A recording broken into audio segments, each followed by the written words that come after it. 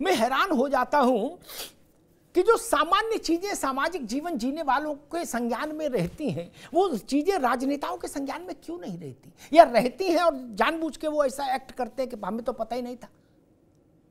मेरे पास कैसे ये चीज़ आ जाती है कि पति पत्नी की ट्रांसफ़र की समस्या है? मैं तो बेसिक शिक्षा में एम्प्लॉय नहीं हूँ। फिर जिनको लोग वोट देकर, चुनकर भेजते हैं, उनके पास गुहार ना ले जाए, ऐसा भी संभव नहीं। लोगों की गुहार पर सुन, ध्यान देने की ज़रूरत है। मुझे लगता ध्यान दे। एक विषय आया, ओपी सिंह साहब ने कहा कि एक आध केस होगा शौचालय का। नहीं। जहाँ बच्चे जहाँ मानव है, वो बच्चा हो या वयस्क हो, वहाँ शौचालय की आवश्यकता है। इससे तो कोई इनकार नहीं कर सकता, दिनेश बाबू। शौचालय के लिए आपने कोई सेवादार दिया नहीं तो अध्यापक नहीं करेगा तो कौन करेगा? बच्चे तो करेंगे नहीं बच्चे करेंगे तो वीडियो बन जाएगा तो प्रिंसिपल से लेके और मास्टर तक नप जाएँगे, और जेल भी जाएँगे। इसमें कोई रॉकेट साइंस है? इसके लिए सीबीआई की जाँच की ज़रूरत है? ईडी की जाँच होगी शौचालय को लेके? अरे भाई, कोई तो साफ़ करेगा कौन है वो? स्कूल में मास्टर है और बच्चा है। तीसरा तो कोई है ही नहीं वहाँ। बेसिक शिक्षा परिषद के स्कूलों में सुलोचना तीसरा तो कोई है ही नहीं ना। या तो पढ़ने वाला है या पढ़ाने वाला है।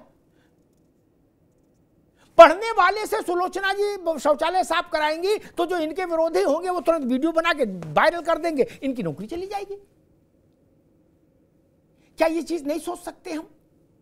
कि आठ घंटे का स्कूल है, शौचालय साफ़ रहे तो हर स्कूल में एक शौचालय की व्यवस्था के लिए व्यक्ति रहे। ये मिड डे मील का काम अच्छा है। लेकिन ओपी सिंह जी, क्या ये बेहतर नहीं है कि इसके लिए व्यवस्था अलग से हो? अध्यापन से नहीं हो। एक नई, नया कैटेगरी सर्जित करिए स्कूल में, मिड डे मील, शौचालय, आदि आदि। और उसके लिए लोग भर्ती करिए। लोगों की कमी है क्या? यहाँ तो समस्या ही है कि बेरोजगार आदमी ज़्यादा है। दिनेश जी कितने स्कूल हैं प्राइमरी के उत्तर प्रदेश में? नौ सौ चौदह थे लेकिन उन्होंने सम्मेलन करके तीस हज़ार विद्यालय भी खत्म कर दिए। जितने भी हैं मान लीजिए उतने ही तो स्वीपर भर्ती करना है ना चतुर्थ श्रेणी के कर्मचारी? तब पे भर्ती होना चाहिए। आज हमने चीफ सेक्रेटरी कोई बड़ी चीज़ है क्या? ठीक है दिनेश जी आगे बात कोई बड़ी चीज़ है क्या ओपी सिंह जी? हम तीन ट्रिलियन चार ट्रिलियन पाँच ट्रिलियन क्या क्या बिलियन मिलियन हो रहे हैं। लेकिन ये नहीं कर सकते। जब ये आठ तारीख को विषय आया, मुझे एक चीज़ से पीड़ा हुई। तो ओपी सिंह जी, कुछ लोगों ने ऐसा रुख लिया, उनको लगा कि नहीं, अध्यापक शत्रु हैं और इनका मान मर्दन करना है। क्या? मुझे किसान आंदोलन के दिन याद आने लगे। मैंने कुछ लोगों को सलाह भी दी कि इतना उग्र मत होइए। हम सब लोग उन्हीं स्कूल में प्राइमरी के अध्यापकों से पढ़कर आए हैं। अध्यापक के पास सम्मान के अलावा क्या है? विजय राठी भी जानते हैं इस बात को, और दिनेश जी भी, और ओपी सिंह जी भी, कि वरना हाँ दिनेश जी अगर टीचर ना होते या सुलोचना टीचर ना होती और ये लेखपाल पटवारी हो गए होते तो ज़्यादा सरसब्ज होते कि नहीं होते? बड़ी गाड़ियों में घूम रहे होते, बढ़िया मकान दुकान होता। नहीं। गुरुजी, प्रणाम, यही तो अध्यापक के पास है और है क्या? कैसी कैसी भाषा बोली गई अध्यापकों के लिए? किसी इनका काम चोर है, किसी इनका फलाना है, किसी इनका निकाल दो इनको। एक सुझाव तो आया, काम नहीं करना चाहते, हटा दीजिए इनको, प्राइवेट को दे दीजिए।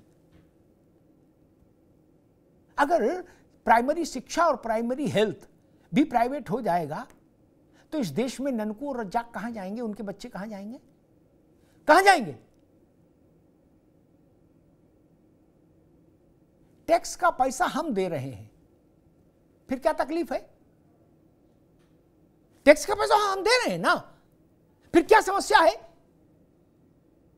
हम अध्यापक का सम्मान बहाल नहीं कर सकते क्या?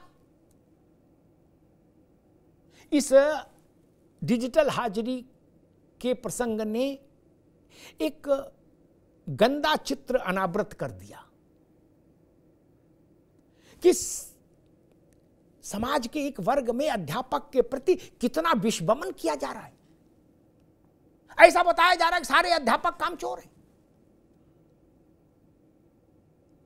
ये भाषा ठीक नहीं, ये व्यवहार ठीक नहीं, ये चिंतन भी ठीक नहीं।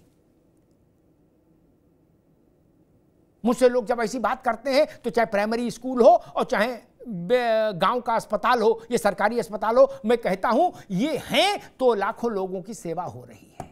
ये नहीं होंगे। तो देश के दस नामचीन जो स्कूलों की चेनें चला रहे हैं लोग, हैं?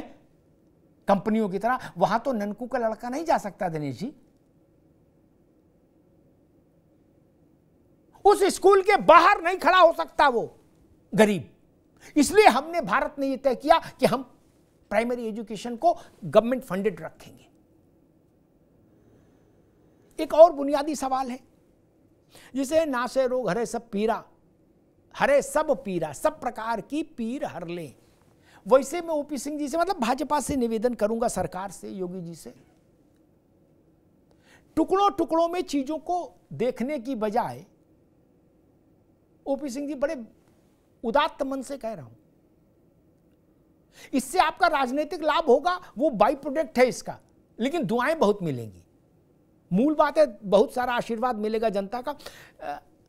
अध्यापकों को राज्य कर्मचारी का दर्जा दे दीजिए। सब समस्या समाप्त हो जाएगी। अधिकांश समस्याएँ अपने आप समाप्त हो जाएँगी। ये राज्य कर्मचारी क्यों नहीं हो सकते?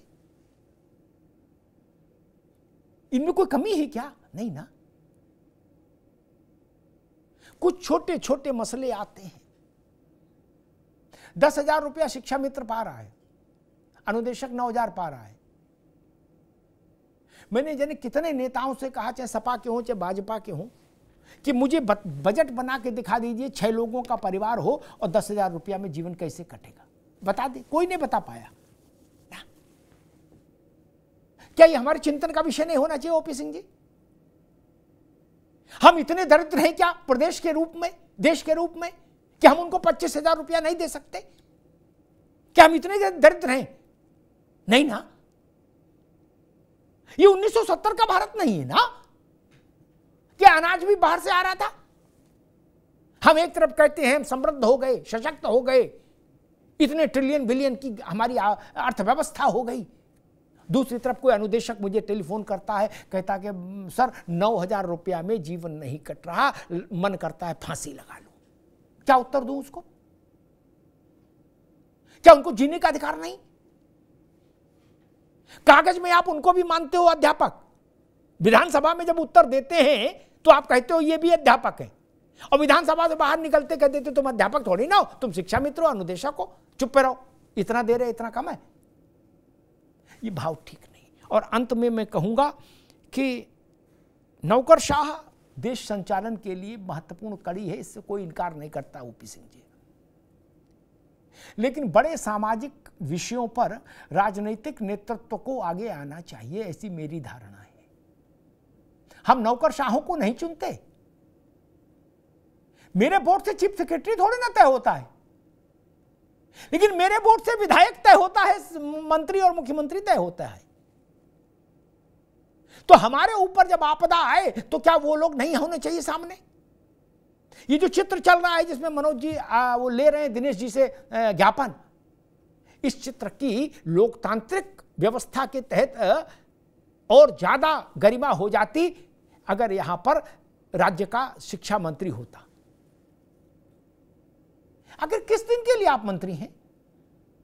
आप किसी और काम में व्यस्त थे क्या? छह लाख अध्यापक आंदोलन में मंत्री जी किस काम में व्यस्त हैं और क्यों व्यस्त हैं? इससे बड़ा कोई काम होगा क्या? और ओपी सिंह जी ने कहा कि एक आध ऐसे ज्ञापन और आदेश हो सकते, एक आध नहीं।